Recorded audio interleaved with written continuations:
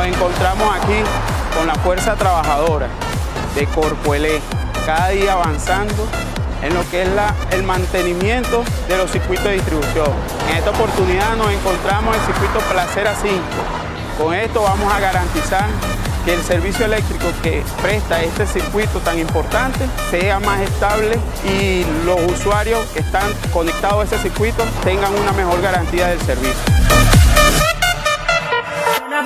Este proyecto es reubicar las líneas que están en la montaña y traerlas a la vía principal para dar mayor confiabilidad y mejor mantenimiento a la red.